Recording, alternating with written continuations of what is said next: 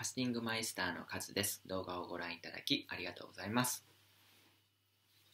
はい、本日はですね、酵素を知って寿命を伸ばす方法についてお話しさせていただければと思います。はい、前回ですね、まあ、酵素について基本的なお話はさせていただきましたので、もしですね、ご覧になっていない方、前回の動画をあのまずご覧いただくといいと思います。はいまあ、今日はですね、まあ、実践編として、じゃあ酵素っていうのは何かっていうふうに知っていただいた後はですね、じゃあどうやって実生活に生かしていけばいいかっていうお話をさせていただければと思います。はい。まあ、今日はファスティングっていうよりも普段の食生活で酵素をうまく生かす方法ですね。それをお伝えさせていただきます。はい。まあ、酵素ですね。前回の動画でお話しさせていただいたのは消化と代謝。消化と代謝。に分かれるんですよっていうお話をさせていただいたと思います。はい。消化、消化するのは食べ物が入ってきて、それをこう分解して、で、分解したものをこう体のこう必要なところに分配してあげて、生かしてあげる。まあ、消化した、分解した後、それをうまく使うっていうのが消化と代謝っていうあの働きに酵素っていうのは分かれていくんですね。はい。で、あとですね、限界値がある。限界値があるっていう量が決まっているっていうのがあのポイントとしてありましたよね。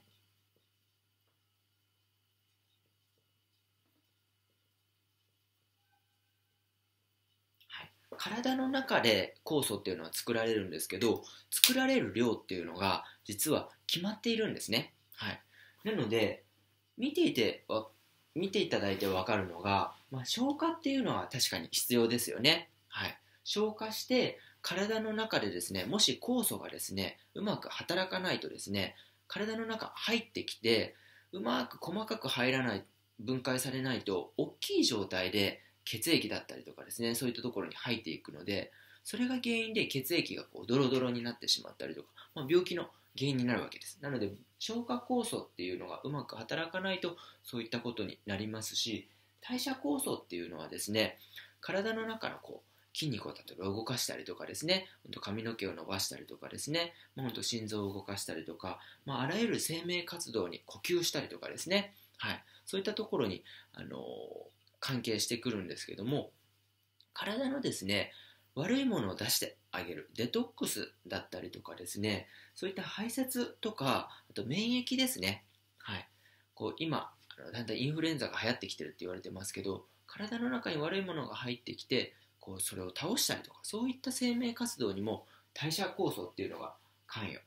しているわけですね。なのでこの酵素がうまく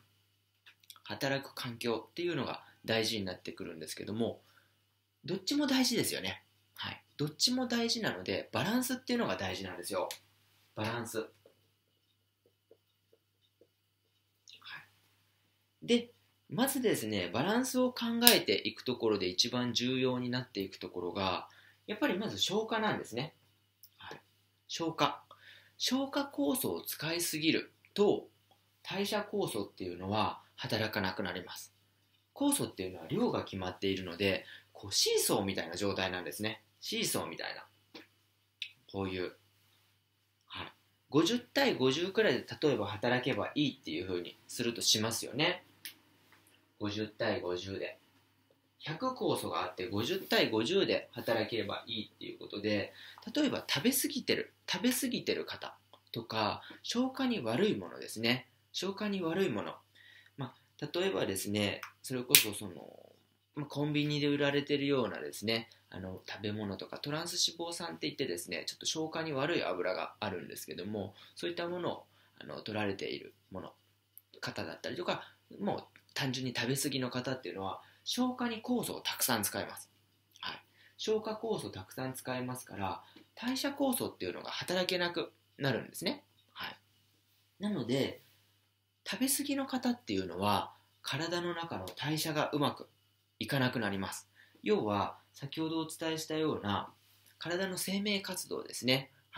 免疫だったりとかですね悪いものを出したりとかデトックスしたりとかそういったことが、ま、できなくなっていくわけですね。なので食べ過ぎ食べて栄養を取ろうっていうふうに思われるかもしれないんですけど食べた分ちゃんと消化しようとしますよね。そうするとその後にちゃんと使えないと意味がないんですよ。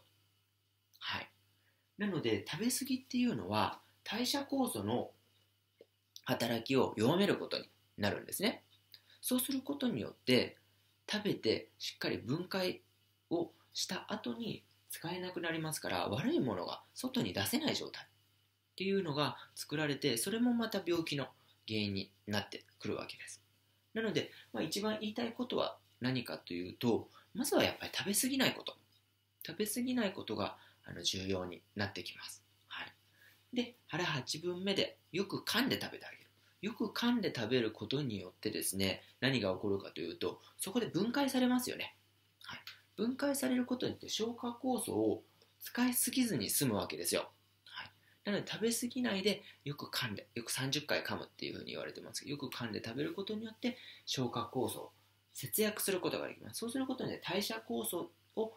代謝酵素が働くようになりますから悪いものを出す。例えば肌のターンオーバーとかもそうですよね。肌っていうのはこう入れ替わるんですよ。代謝新陳代謝って言われてますけど肌の代謝が良くなれば肌がですねどんどん生まれ変わるようになりますから外からなんか化粧品とかですねなんか